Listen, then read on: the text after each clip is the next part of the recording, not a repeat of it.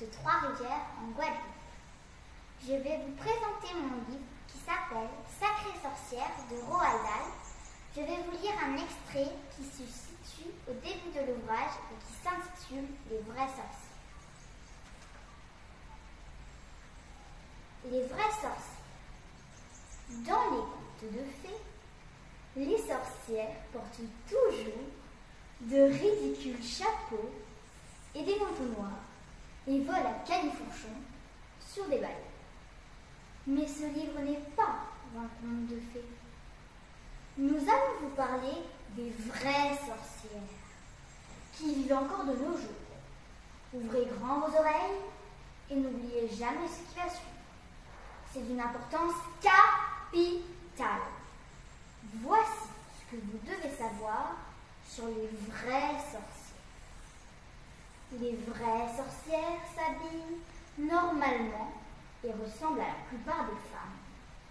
Elles vivent dans des maisons qui n'ont rien d'extraordinaire. Et elles exercent des métiers tout à fait courants. Voilà pourquoi elles sont si difficiles à repérer. Une vraie sorcière déteste les enfants d'une haine cuisante, brûlante, qu'il est impossible d'imaginer. Elle passe son temps à comploter contre les enfants qui se trouvent sur son chemin.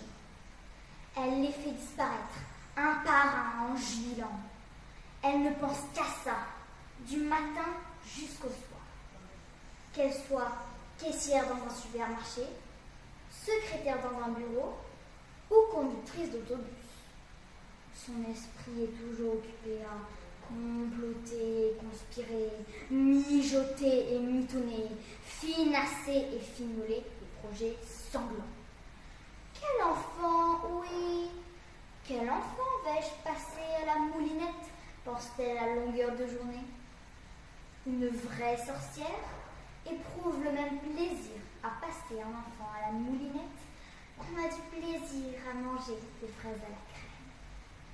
Elle estime qu'il faut faire disparaître un enfant par semaine. Si elle ne tient pas ce rythme, elle est de méchante humeur. Un enfant par semaine, cela représente 52 enfants par an. Un tour, deux tours de moulinette et hop, plus d'enfants. Telle est la devise des sorcières.